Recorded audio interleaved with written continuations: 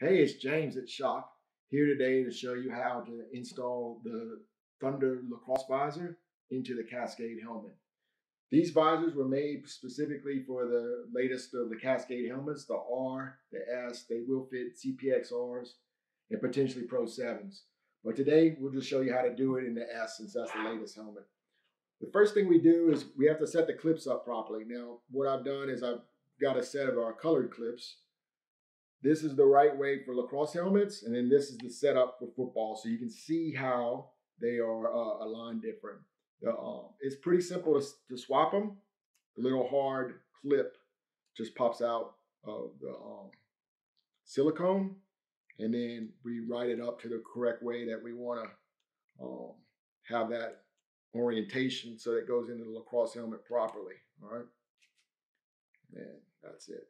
All right, so we need them up this way. All right. So with that said, basically what I do first is I put the clips onto the helmet. We put them onto the second bar on the lacrosse on the uh, Cascade S.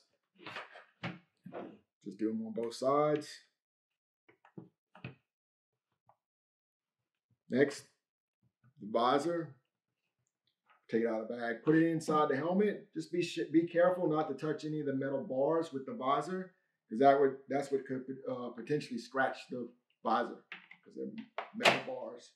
So get it through and up. All right. Now what I do is I have the visor angled. Basically the visor touching the S here.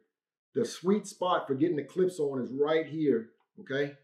So I basically then take the thumb nut from the back, I push here on the hard part of the clip and line them up to the thumb screw on the back and get it started. All right, do that side first, just get it started, and then repeat on the second side. All right, again, right on that sweet spot with the S.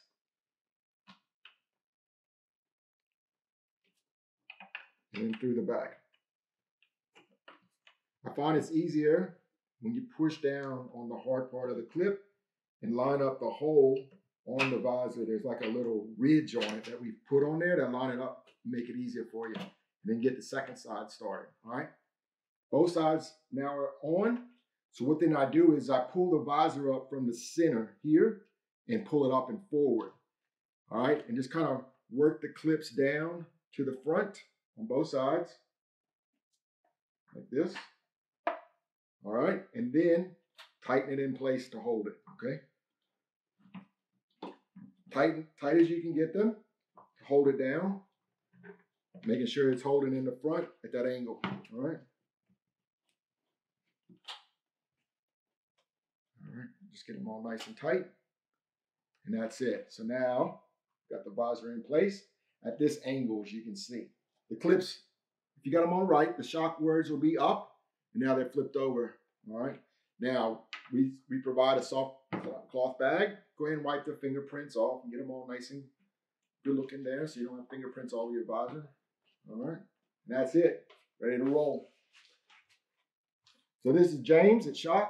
As you can see, I got lots of clearance. I got almost full tilt on my helmet too in this position. The more tilt, the better the helmet fits in lacrosse. This is how Cascade designed the helmets. You want to have tilt on it. But with our visor, you can have maximum tilt, still breathe, your nose is clear, your mouth's clear, they won't fog up this way, and you got maximum clearance now. This is the proper way to wear the helmet and the visor. So anyway, just want to say thanks for purchasing our products. We really appreciate you guys. Um, if you can, just like and comment on our videos. We plan on having a lot more content coming in the future and some more products that we're really excited to be re releasing as well. Thanks again. This is James at SHOC.